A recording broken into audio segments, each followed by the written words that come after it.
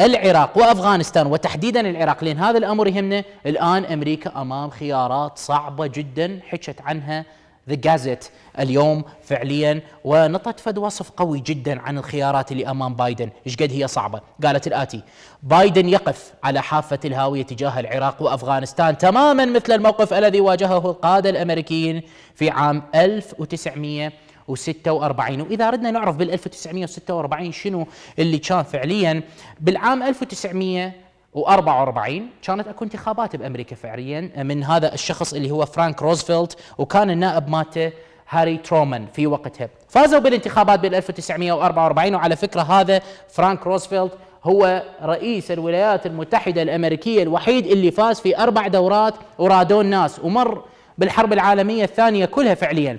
لكن اللي صار توفى آه، فرانك روزفلت أثناء الحرب العالمية الثانية بال 1945 مما اضطر النائب أن يلقي القسم اللي هو ترومان وصار رئيسا للولايات المتحدة الأمريكية. ومجرد ما صار رئيس لأمريكا كان هو بمعارك يعني فعليا مع آه، واضحة يعني مع ألمانيا واليابان. فاللي صار إنه ألمانيا مباشرة استسلمت.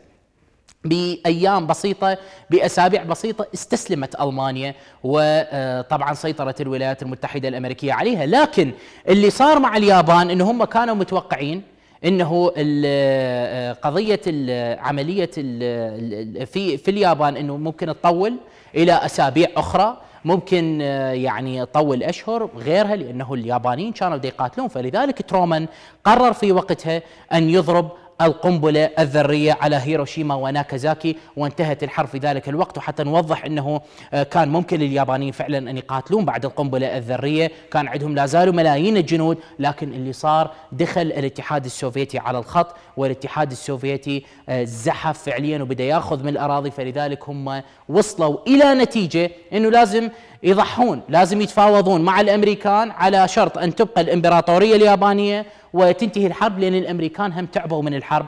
فوافقوا على هذا الموضوع وحلوا الجيش الياباني وسووا دستور خاص بهم. المثير بهذا الموضوع إنه خيارات ترومان كانت كبيرة. يعني اتخذ قرارات خطيرة بال 1945 وبال 1946 وسوى مشروع مارشال أيضا لإعادة بناء أوروبا. فهذا الرجل كل سياسات أمريكا الخارجية تغيرت بزمنه.